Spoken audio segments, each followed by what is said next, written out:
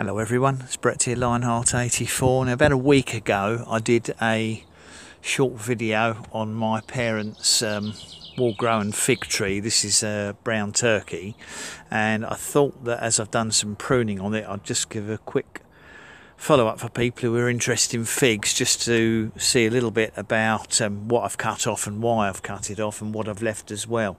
Now one of the problems with growing figs in a cooler climate such as the UK uh, is you tend to rely more on the Breba crops, which are the first season crops. Um, because they've survived from the previous winter and they come earlier in the year um, rather than the main crops that you get in hotter climates whereas such as the uh, southern states in America or central states where you get much hotter summers Mediterranean and other subtropical areas.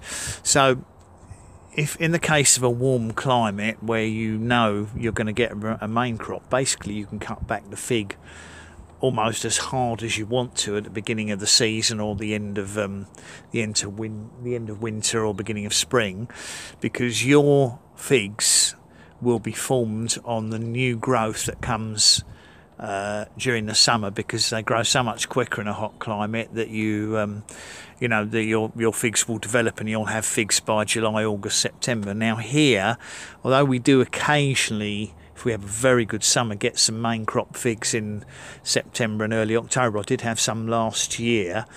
You mainly have to rely on my Brebas. So in pruning this for my parents, obviously they want to get some figs this year.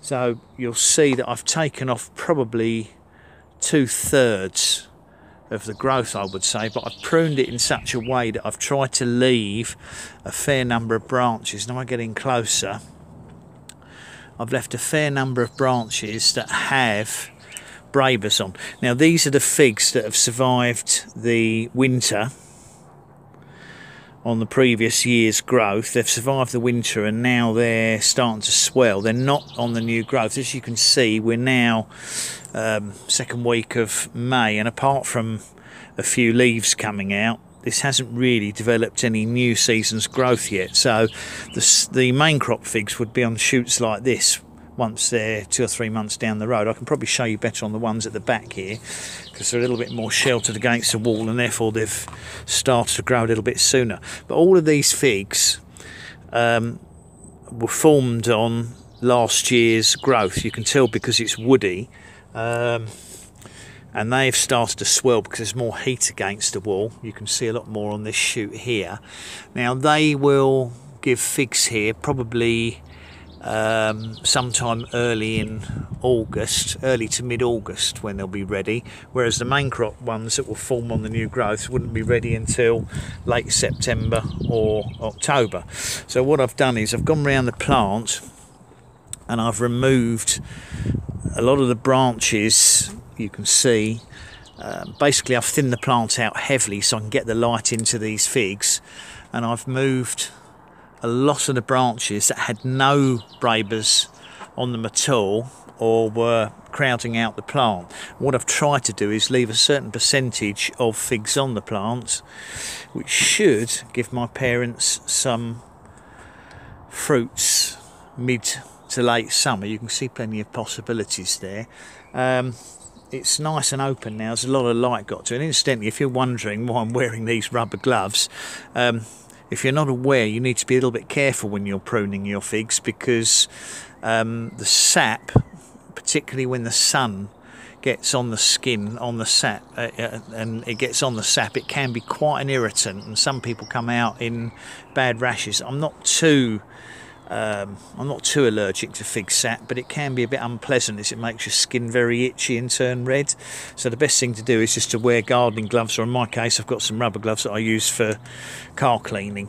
But um, basically, you can see where I've left. I've taken out a large amount of the stems. You can see there's a load there in that bucket of water because I had a couple of people asked if they could have some cuttings.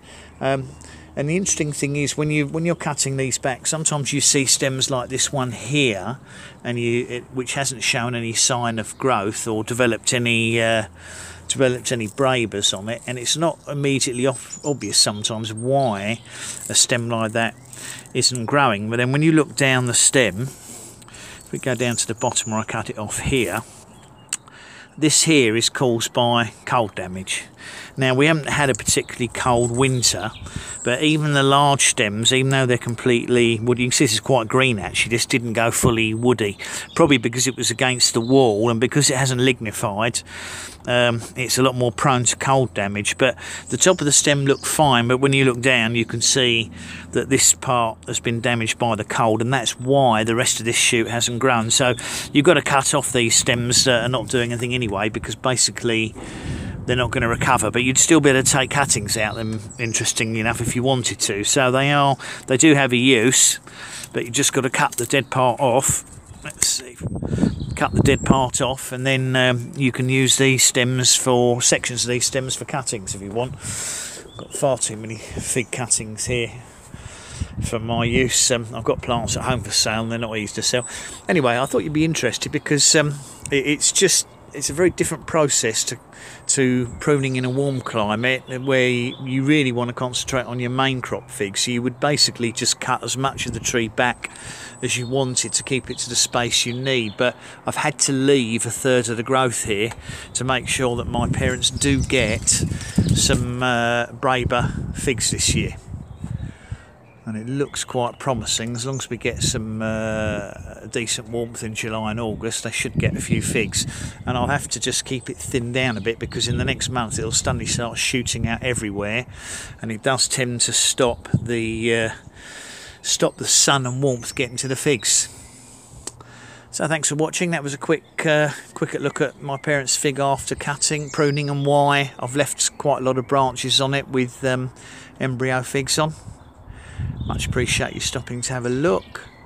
Please give the video a thumbs up, share it with anyone you think's interested. Please subscribe to my channel if you haven't done so already.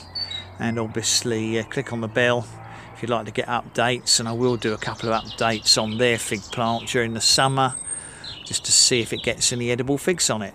I'll catch up with you on the next video. Brett out for now.